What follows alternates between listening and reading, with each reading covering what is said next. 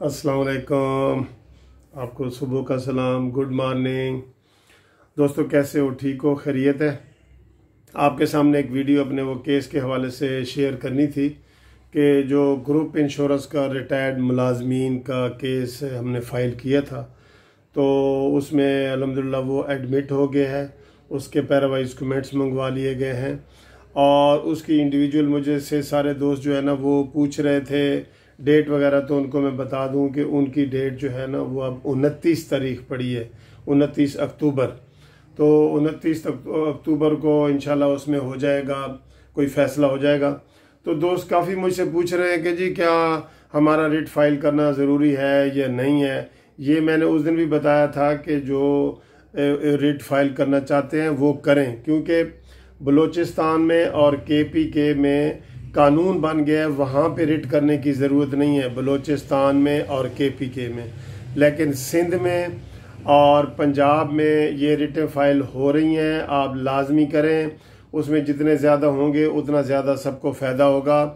اور اس میں جب تک قانون پاس نہیں ہوگا تو جو لوگ رٹ کریں گے، اگر ریٹ ہماری منظور ہو جاتی ہے تو پھر انہی لوگوں کو ملے گا گروپ انشورنس کے پیسے جنہوں نے ریٹ کی ہوگی۔ ریٹ کے منظور ہونے کے شرط پہ۔ ٹھیک ہے جی؟ تو یہ دوستوں کو میں بتا دوں کہ سینٹر گورنمنٹ کے لوگوں نے بھی کافی مجھ سے پوچھا ہے کہ جی فیڈرل کا کیا ہے؟ تو فیڈرل کا بھی ابھی کوئی قانون نہیں ہوا۔ فیڈرل والوں کی تھوڑی سی تفصیل میں آپ کو یہ بتا دوں کہ انہوں نے اسلام آباد ہائی کورٹ میں ریٹ کی تھی، جو ریٹ خارج ہوئی ہے یعنی کہ ان کی نہیں مانی گئی یہ تیرہ ستمبر کو۔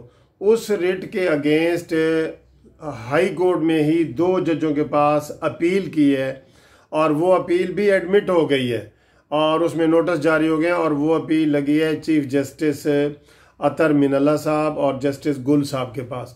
تو اس میں بالکل پوری ہوپ ہے کہ ان شاء اللہ تعالیٰ والے لوگوں کے لیے بھی وہاں پہ یہ جو ہے نا، یہ ریٹ پٹیشن منظور ہوگی اور ان کو بھی ان کے پیسے ملیں گے۔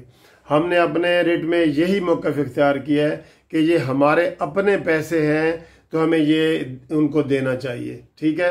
اور دوسرا، ہم نے یہ پوائنٹ کیا کہ ہم چونکہ گورنمنٹ ملازمین تھے، اس زبردستی ہم سے لیتے لیں ہم نے اپنی مرضی سے تو وہاں سائن نہیں کیے تھے۔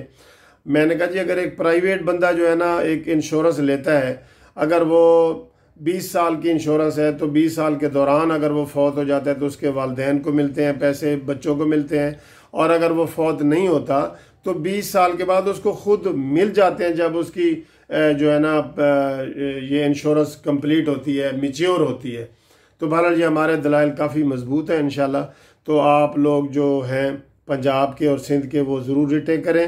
اور رابطے کے لیے میں نے آپ کو بتا دیا ہے، لوگ مجھ سے ایڈریس پوچھ رہے ہیں دفتر کا۔